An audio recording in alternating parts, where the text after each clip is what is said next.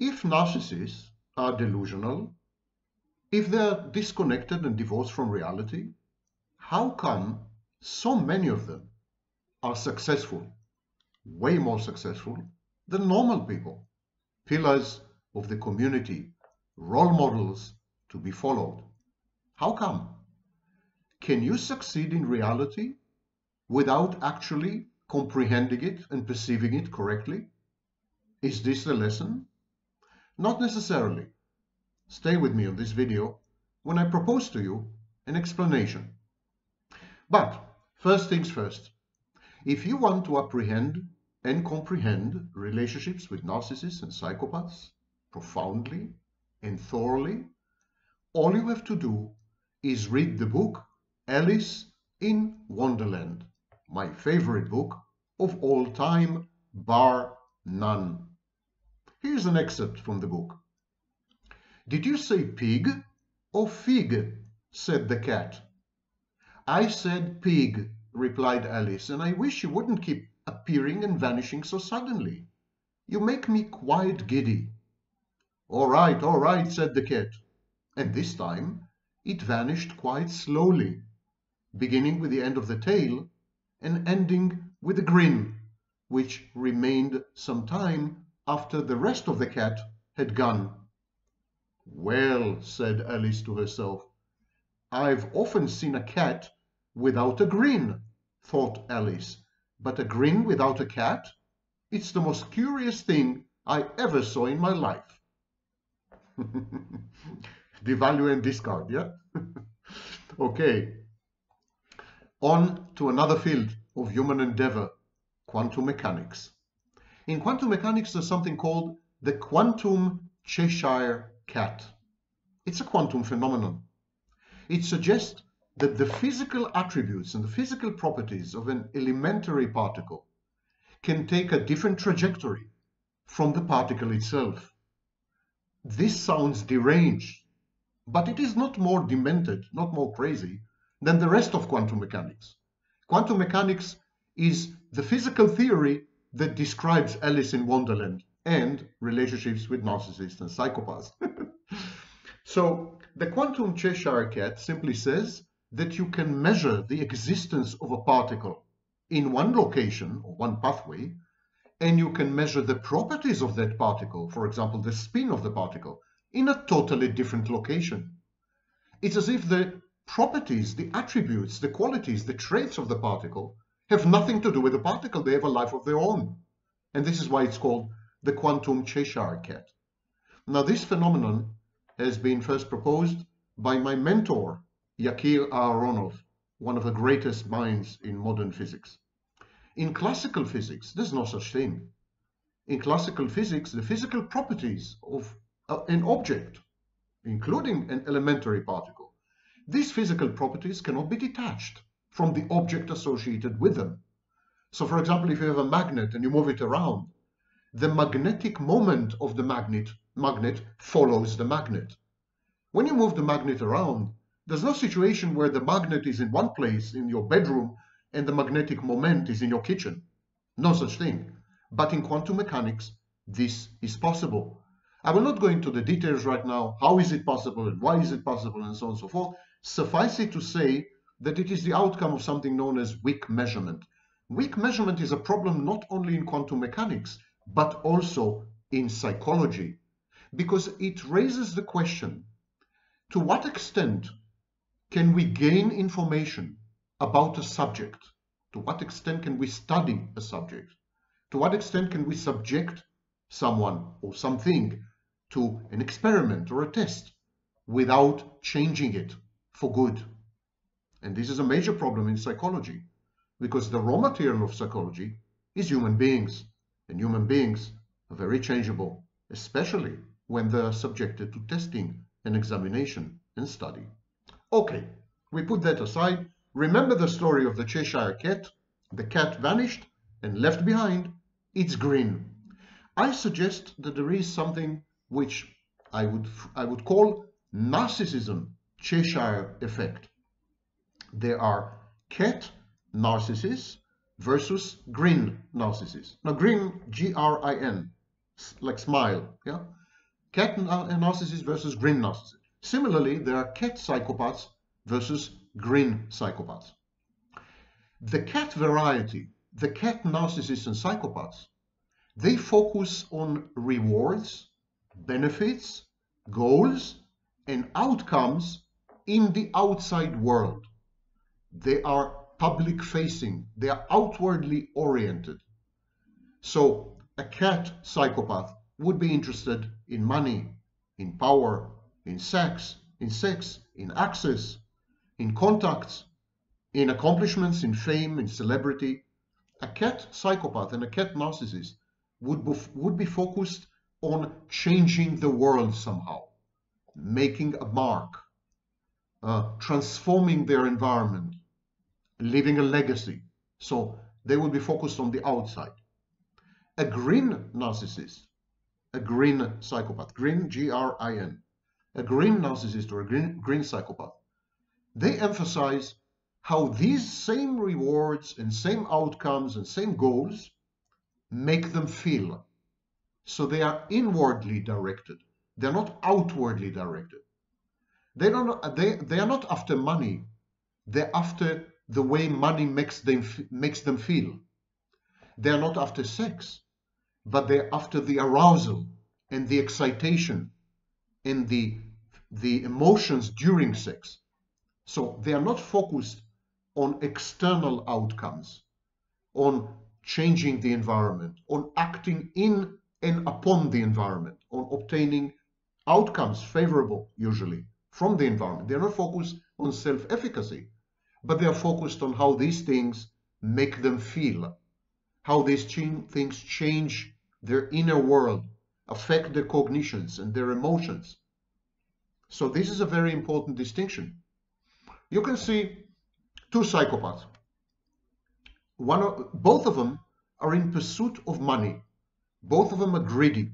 Both of them are avaricious. Both of them are ruth ruthless and relentless and callous in pursuit of money and more money and even more money. And in the process, they hurt people, they damage people, they trample on everyone. They are heartless, cruel. They have no conscience, of course, and no empathy. Both of them. But they're different. They're different because one of them is really interested in money. They're after money. They want money. They love money. They affect money. They're emotionally invested in money. Money is an external thing, something out there in the environment. The other psychopath, who is indistinguishable behaviorally from the first psychopath, the second psychopath couldn't care less about money. The reason he's pursuing money the reason he is attempting to hoard money, to increase the amount of money he has, is because money makes him feel secure or loved. So it is not money that interests him. It is the way money makes him feel, the way money affects his emotions and cognitions, his sense of safety, the stability of his life, and so on and so forth. So this is an important distinction between the cat narcissist or psychopath and the grin narcissist or psychopath. Now, the grin narcissist and psychopath um, lives in fantasy. The, the grin psychopath the grin uh, narcissist, they're invested in their internal world. This is much more true for the narcissist because the number of grin psychopaths is extremely small and they are usually malignant narcissists. They are usually psychopathic narcissists. Most psychopaths, the vast majority of psychopaths, are interested in external outcomes. Most of them are cat people. Most narcissists are grin narcissists. They are not cat narcissists. The vast majority of narcissists are not interested in the external world because they are unable to perceive other people as external objects and because they have an impaired reality testing. They're unable to grasp reality appropriately. So most psychopaths are cat people and most narcissists are grin people. Grin people are focused on the inside. They are focused on their internal landscape and environment, on internal objects, on what goes on through their minds. Grin people are divorced from reality. They reject reality. They falsify reality by reframing it. They um, distort their cognition in order to misapprehend reality. For example, by being grandiose. So grin people live in fantasy. Cat people live in reality. And this leads us to the answer to the question that opened this video when we were all much younger. I opened the video by asking, how come narcissists who are delusional, who live in fantasy, who are divorced from reality, how come they are so successful? They're successful precisely because they are delusional, precisely because they are embedded in fantasy, precisely because they are disconnected from reality. This is the secret sauce. This is the reason for their success. Why is that, you ask, scratching your collective head? Let's go back a bit. The modern economy, definitely in the last 100 years, but more so after 1990, the modern economy is about the manipulation of symbols within fantastic spaces. I'm going to repeat this because it's hard to wrap your, hand, your head around it. When I, when I give you the word economy, it conjures up agriculture, industry, manufacturing, goods, um, food. It conjures up, when I say economy, this word is associated with tangibles. But this is no longer true. The vast majority of economies in the world, actually there's no exception, all the economies in the world today produce mostly intangible, not real things, symbolic things. So modern economies are concerned with the manipulation of symbols within fantastic spaces. Consider, for example, money. What is money? It is a symbol. And money flows through the banking system, which is a fantastic space. Similarly, you're watching this video um, on and off, of course, through a video through a computer screen. What is a computer? It's a physical object, object that manipulates symbols in a fantastic space. The computer is programmed, the computer is coded, and the computer programs, the softwares, the apps, they're all symbolic. They're all about symbols. And it's a great definition of the modern economy, in my view. Anything from video games to entertainment to finance, these are all giant industries that rely 100% on the manipulation of symbols in fantastic spaces. None of them produces anything tangible anymore. We watch movies on screens. They are streams of digits. No one buys DVDs anymore. So no one goes to the cinema, very few people. The tangible part of the economy is shrinking to the point of vanishing. Even tourism, for example. Tourism is make-believe. It's make-believe vacations. It's, it's a symbolic break from reality, from life. It's an escape from reality. Everything is essentially reducible to symbols. And the more digital and electronic the economy becomes, the more symbolic it becomes. The more concerned it is with the manipulation of symbols in fantastic spaces. Here are the facts. 2% of the population in industrialized nations 2% work in agriculture. Your entire food chain, all the food you eat, is manufactured by 2% of the population. Another 15% are stuck in factories and manufacturing. And that's because they don't have a choice. They're not educated enough or whatever, or clever enough. So a total of 17%, 17% in industrialized nations produce everything you see which is tangible. All goods, all foods, all comestibles, everything, 17%. What do the other 83%? What are they doing? Well, something between 4 to 6% or 10% unemployed, but the other 75% are busy. They're very busy. They're busy at what? Services. 80% of modern economies are services. And the vast majority of services have to do with the manipulation of symbols in fantastic spaces. Actually, symbols in fantastic spaces is nothing new. Consider, for example, the city, the idea of the city. A city is a virtual reality. It's the city doesn't grow its own food. Most cities don't manufacture the goods they consume. Cities are fantastic spaces, imaginary places. Cities are virtual realities. They're not real. They're not connected to the soil. They don't produce anything. They only consume. So this is a kind of metaverse, kind of uh, multiplayer game. But cities have been invented something like 10,000 years ago. So there's nothing new about fantastic spaces. We are used to living. Urbanization has culminated in the 20th century.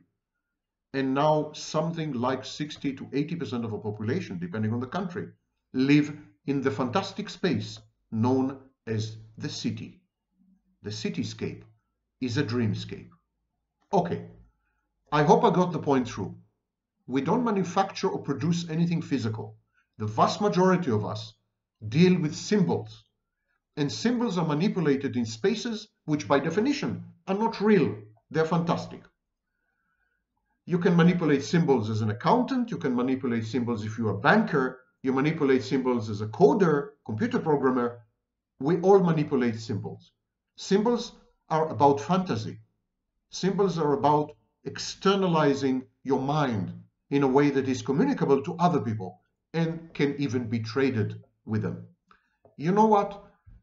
Even when you buy a new apartment, you're buying a fantasy space because the apartment, the physical apartment, was preceded by the idea of this apartment in the architect's mind.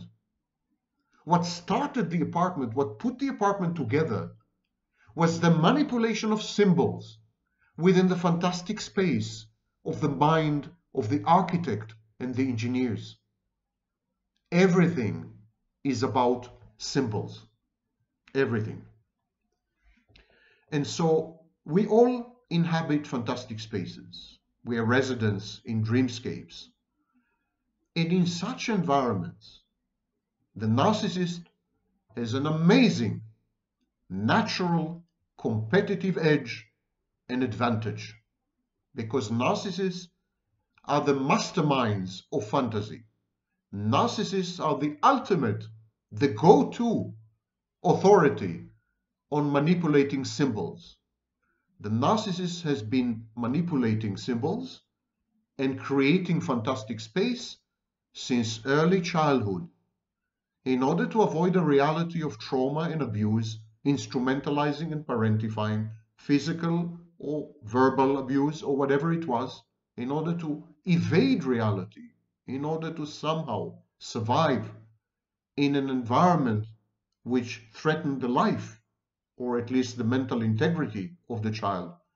This kind of child who later becomes a narcissist in adulthood, this kind of child learns to fantasize. The fantasy defense of the narcissist is everything the narcissist has. Narcissism, pathological narcissism, is a fantasy defense. Period. So having created a world in which we manipulate symbols in fantastic spaces, we have actually created the conditions for the flourishing, the thriving, and the dominance of the master experts in fantasy, the narcissist. The narcissist throughout his life, from a very early age as a child, had invented an imaginary friend which later became a godlike figure.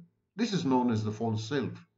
And then the narcissist spends the rest of his life interacting symbolically with internal objects. One of them is the false self. The narcissist converts everyone around him into symbols, into introjects, into disembodied voices, into internal objects. And then the narcissist embeds these objects, internal objects, embeds them in a space of fantasy. And then he continues to interact with these internal objects within the fantasy. This is the narcissist's internal world. And yet, this is a great description of our civilization. Our civilization is constructed and founded on the conversion of people and objects into symbols, into civilization's internal objects, and then the manipulation of these symbols in order to yield favorable or socially accepted outcomes. Civilization, modern civilization, is the exact replica, extension, and reflection of the narcissist's mind. Modern civilization is a giant narcissistic mind. And so, of course, narcissists find it very appealing and very easy to cope with. Narcissists function well in cultures and societies and periods in history where fantasy has been preferred to reality, where people and objects were converted to symbols or regarded as symbols. So narcissists flourish in ideological spaces such as Nazism, communism, fascism, because these ideologies are fantasies. They are totally divorced from reality. And these ideologies objectify people convert them into symbolic objects. And then these ideologies use people the way an accountant would use numbers or a banker would play with deposits. They not only dehumanize people, but they move them around and manipulate them and kill them as if they were not people at all. They don't see the human dimension. They lack empathy. So narcissists thrive in such, such ideologies. Wherever there's fantasy, narcissists are on top. And that includes, for example, the information technology sector, where increasingly more so, engineers and business people, entrepreneurs, are creating fantastic spaces. Social media are fantastic spaces. Definitely the in incoming multiverse is by definition a space of fantasy. So narcissists thrive in the information technology sector. In finance, narcissism is very dominant and prevalent in finance because finance is not about the real world. Finance is about manipulating and playing with symbols within spaces of fantasy, whose only limitation is the imagination and perhaps some rules of capital adequacy. That's all. Narcissists gravitate towards fantastic spaces. And when the entire world, when all our society, the totality of our society, all our civilization become one huge fantasy, who's going to be on top? Narcissists. The grin people, not the cat people necessarily. The grin people. But cat people team up with grin people because cat people realize that grin people are masterminds, master experts in operating within fantastic spaces. So a cat person would create an alliance with a grin person. The grin person would manipulate symbols within an environment, and the cat person would benefit from it, would somehow enjoy the reward, rewards and outcomes of such activity. Cat and grin people, teams of cat and grin people are very common in politics, in show business, in finance, very, very common. You could see, you could see combine like the two cups, you know, on patrol. You can see one cat person, person who is interested in bottom line, the bottom line, outcomes, goals, results, products, and so on. And next to him, there's a grin person, someone who sees the big picture, can imagine, has a vision, can manipulate symbols within a space of fantasy, can engender the fantasy and then impose it on reality. And these teams are unbeatable. And that's why we are being taken over by narcissists and psychopaths. They have an advantage. Healthy people, normal people, are embedded in reality, but reality is vanishingly small. 17%, remember? That's reality. 83% is dreamscape, imagination, paracosms, virtual, not real.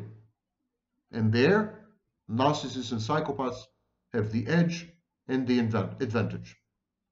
So in the modern economy, in the modern world, narcissism is a positive adaptation. Anyone who is grounded in reality is seriously challenged, seriously effed, I would say. If you're grounded in reality, you're doomed. You're doomed to failure, to defeat. You will never make it. Reality is a bad qualification. So, um, narcissism is a positive adaptation. In July 2016, the famous scientific magazine, New Scientist, they had an edition with a cover story. And the title was Parents, Teach Your Children to Be Narcissists. Of course, it was kind of tongue-in-cheek, but they were right. The world is built to cater to the special advantages, structural um, superiority of narcissism, and increasingly to psychopathy. We are divorcing reality. Think about, consider technology. Until 1990, for 50,000 years, that's 50,000 years, until 1990, technology was about extending the body and extending the mind. 50,000 years, as old, as old as me. extending the body and extending the mind. All the tools we invented, all the instruments, everything was about expanding the reach of your body, your arms, your legs, expanding the remit and the ambit of your mind, enhancing it somehow, and its faculties, its capacities.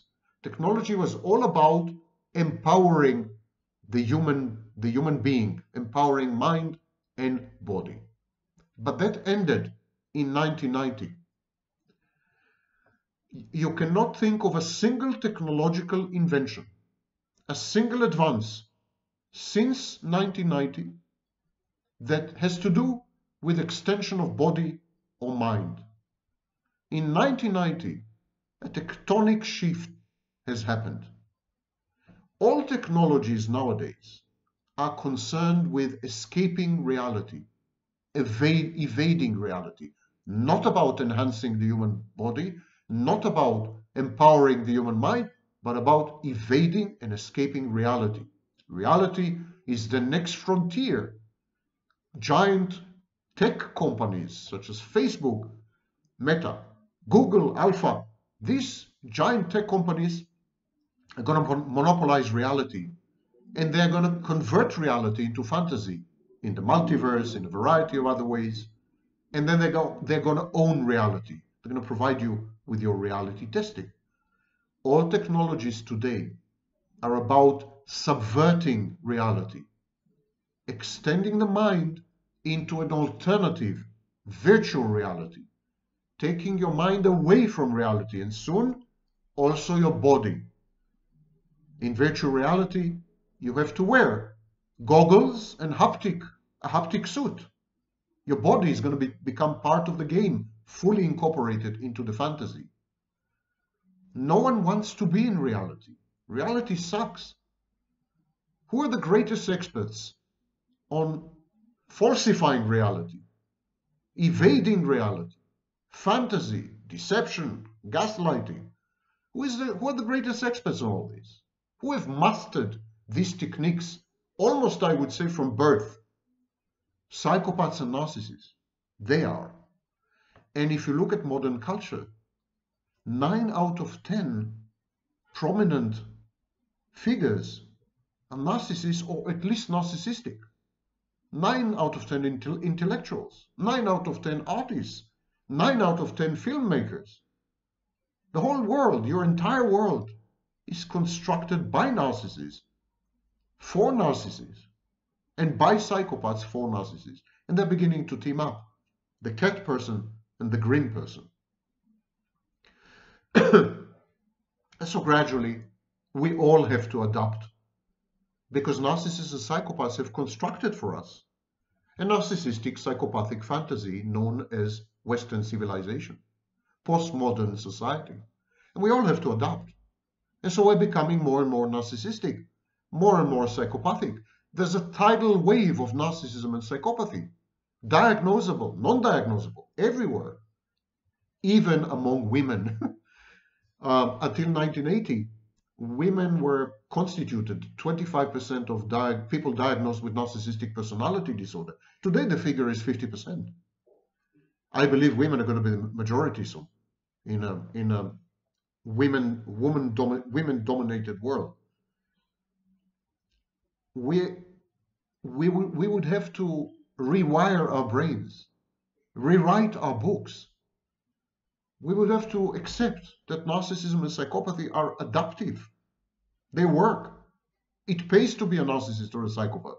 It brings you to the White House, for example, or to the Grammy and Emmy charts, or wherever it is that you want to go, to a billionaire's mansion. You have to be a narcissist to get there, because otherwise you will never make it. Within a fantasy space, you will find yourself competing with narcissists and psychopaths who've done nothing else in life except fantasize.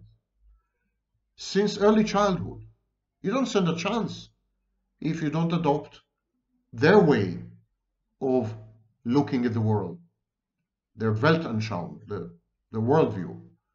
If you don't become a narcissist, behaviorally at least, if not by inner conviction, you're doomed to the second tier of society. There's a new feudalism coming. You have to choose. Are you the master of the manor? Are you the feudal lord? Or are you the vassal and the servant and the agricultural worker? New times are upon us, and they are stamped with the mind of the narcissist and the psychopath working together.